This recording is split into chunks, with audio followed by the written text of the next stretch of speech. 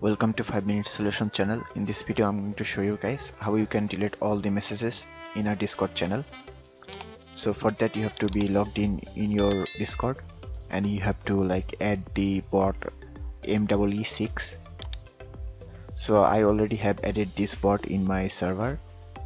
So if you want to know how you can add this bot to your server, uh, browse this channel. I already have uh, uploaded a video on that topic.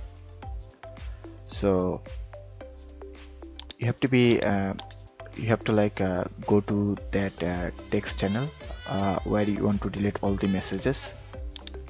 And in like a MEW MEE6 uh, site you have to be logged in with your discord uh, account. Like you have to logged in uh, with the discord account username and the password. And here you have to like select the server so once you have like selected your server you will like uh, in dashboard menu you have to like uh, scroll down. And you will find uh, find an option called moderator. You have to enable it.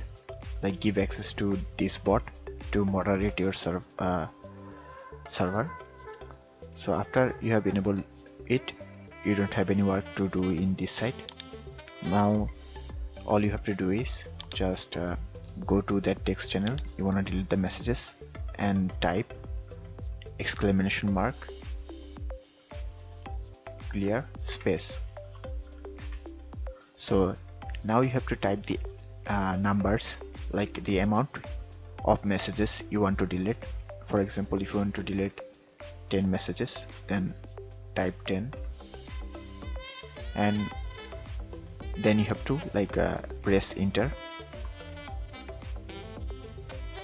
so the bot says it has deleted 8 messages because I had 8 only 8 messages in this text channel.